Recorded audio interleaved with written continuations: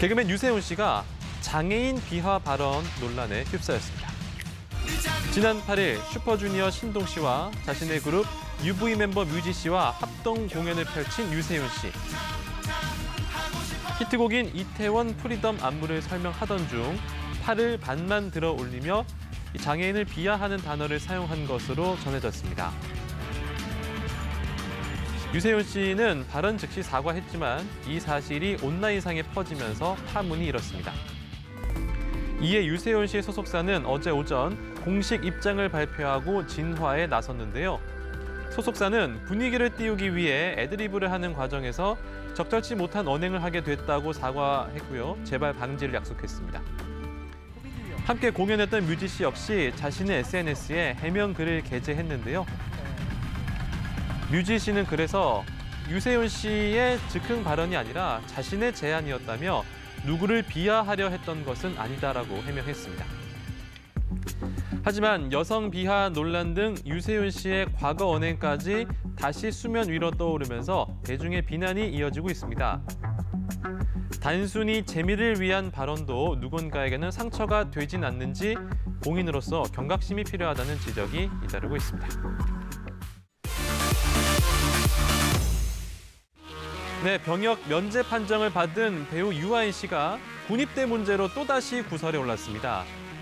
어제 오후 유아인 씨의 병역 면제 판정이 적법한 절차에 따라 진행됐는지 수사를 요청하는 민원이 국민권익위원회 온라인 사이트 국민신문고에 접수된 사실이 알려졌습니다. 이어 이 민원이 대구지방 병무청에 배당돼서 조사 중이라고 전해지면서 파문이 일었는데요. 이에 병무청은 이 같은 민원이 접수된 건 맞지만 조사 중은 아니라고 부인했습니다. 병무청 관계자는 연애수첩과의 전화 통화에서 병역 면탈 의혹이 있다면 조사하겠다는 취지로 민원서에 답변한 것뿐이라고 밝혔습니다. 지난달 골육종으로 인해 병역 면제 판정을 받은 뒤에도 거듭된 병역 면제 논란에 휩싸였던 유아인 씨. 이에 유아인 씨 소속사는 부정 행위를 하지 않았다며 근거 없는 억측과 비방에 강력 대응하겠다고 전한 바 있습니다. 신랑의 어떤 조건이 있습니까? 딱 하나 그냥 술 담배를 좀 안 하는 남자였으면 좋겠어요. 좀 이렇게 바르고 그다음에 좀 남자가 좀 과묵했으면 좋겠고. 과묵하고. 근데 이왕이면 좀 이렇게 이제 그 뭐 정규직 프리랜서 프리랜서보다는 조심스러워. 왜냐면 저는 프리랜서고 제가 조심스럽. 예, 까다롭죠? 평범한 회사원과의 결혼을 꿈꿨던 이지혜 씨의 바람. 꿈은 이루어진다. 그룹 샵 출신 가수 이지혜 씨가 가을의 신부가 된다고 하네요. 어제 오전 이지혜 씨가 같은 교회에 다니는 회계사 남자친구와 올 가을 결혼할 예정이라는 소식이 전해졌습니다. 곧이어 이지혜 씨는 자신의 SNS를 통해서 직접 결혼 발표를 하고 소감을 전했는데요. 이지혜 씨는 특히 예비 신랑은 교회에서 만난 건 아니고 평범한 사람이며 회계사는 아니다라며 잘못된 사실을 바로 잡았습니다.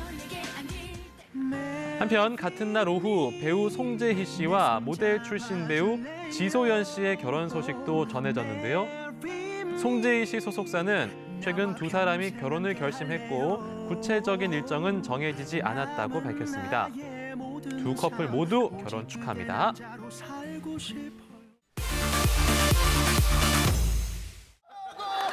자신을 알리기 위한 수단으로 연예인이라면 하나쯤은 갖고 있는 개인기. 대한민국을 대표하는 톱스타들도 한때는 개인기로 매력을 뽐냈습니다. 원조 조각 미남 장동건 씨 손으로 던져서 받아먹기 화려한 개인기죠. 카리스마 넘치는 연기로 전 세계를 사로잡은 배우 이병헌 씨의 개인기는 과연 잘 보세요. 잠깐 할 테니까요. 뭘죠? 어머나 오랑우탄 예 뮤지컬 배우 조정석입니다. 네. 오정석 씨 하면 안 되는데. 예. 어떤 개인기를 선보였을까요? 오, 폼 예. 발차기는 기본이고요. 어우 잘 차네요. 아, 예. 더 있습니다. 다리 찢기 쫙쫙 잘 찢죠? 이거 뭐죠? 코로 멜로디어 물기. 아 콧구멍 대단해요. 최근에는 더욱 개성 만점의 독특한 이색 개인기가 대세입니다. 자, 아이돌 가수이자 배우로 활동 중인 B2B의 육성재 씨. 육성재 씨의 개인기 성대모사가 아니라 얼굴 모사랍니다. 이소룡 아시죠? 이소룡이 이제 악당을 딱 물리치고 하는 표정이 특유의 표정이 있죠, 있죠. 지난주 이세영이 이기 쉽지 않을 텐데. 어. 아니, 한번 해보세요. 아, 괜찮아, 괜찮아.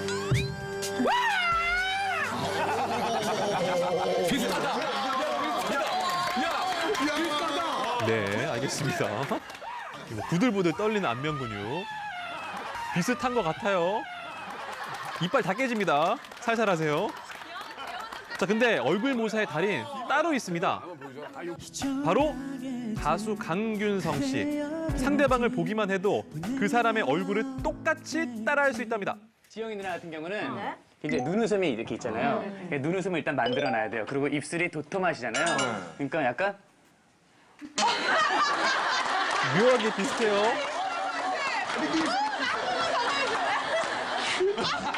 묘하게 비슷해요. 사람은 기본이고요. 이제는요 자동차 모사도 가능하답니다. 느낌은 어떤 느낌이냐면 약간 눈을 눈을 부릅뜨고 약간 이런 느낌. 예, 오. 묘하게 비슷해요. 아, 이거는 조차 가능할까요? 그냥 이건데. 아, 예. 대단합니다. 약간 이렇게 해서 다 가능합니다. 안 되는 차 없어요. 자, 아이돌 그룹 샤이니의 리더 온유 씨. 이 개인기 덕분에 회식 자리에서 늘 최고의 인기를 독차지한다고 합니다. 어떤 개인기일까요? 병 따는 개인기. 와, 나 이거 너무 멋있어. 회식 까잖아요. 회식하면은 병 따기를 찾잖아요. 필요가 없어. 그냥 바로 숟가락 들고 딱. 아, 일단 가자. 네, 숟가락으로 거침없이 병을 따는 온유 씨. 주변에서 흔히 보는 기술인데요. 이걸로는 좀 부족한 거 아닙니까? 오? 미스트? 좀 힘들지 않을까? 아니, 잘 잡으면 될것 같긴 아니, 해요. 갈수 있어. 지렛대 원리. 오, 예. 시원하게 병뚜껑을 땄습니다. 미스트로. 자, 이어서 냄비 뚜껑 가능하고요. 쟁반 가능합니까? 가능합니다. 다 됩니다. 다양한 기구들로 병을 따는 모습. 분위기가 후끈 달아올랐습니다.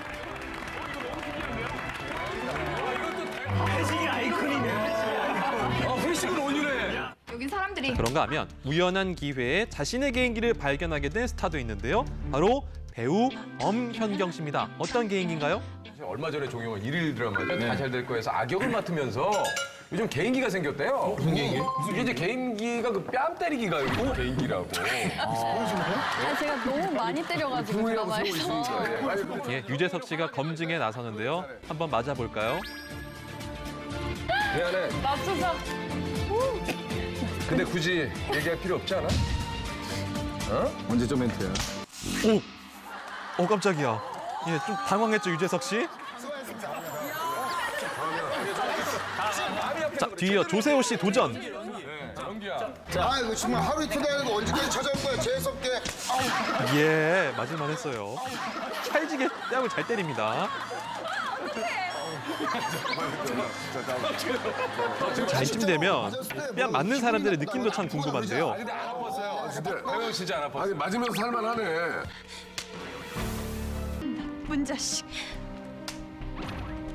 자, 정말 뺨 때리기 고수죠.